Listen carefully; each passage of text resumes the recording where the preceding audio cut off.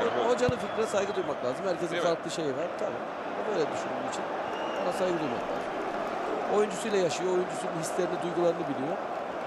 Onun ne yapabileceğini, ne yapamayacağını o herkesten çok daha iyi biliyor. O nedenle ona saygı duymak lazım. o duygusal yapısından da kaynaklı Holosko'nun. Sanıyorum onu Hoca da bunu gördüyse- sokmak istemedi. Tabii ki. O centilmenlik anlaşması gereği de böyle bir karar alındı. Quaresma gol pozisyonu. Quaresma gol! Quaresma gol! Dakika 33. Beşiktaş öne geçiyor Quaresma. Sağ kanatta zorladı, zorladı.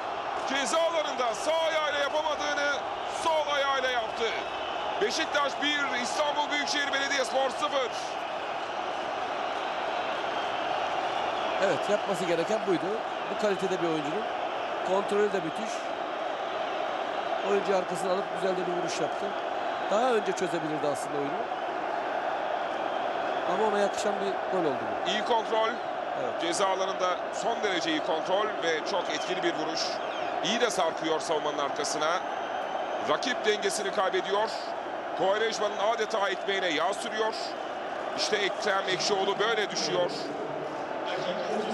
Ve Kovarejma affetmiyor.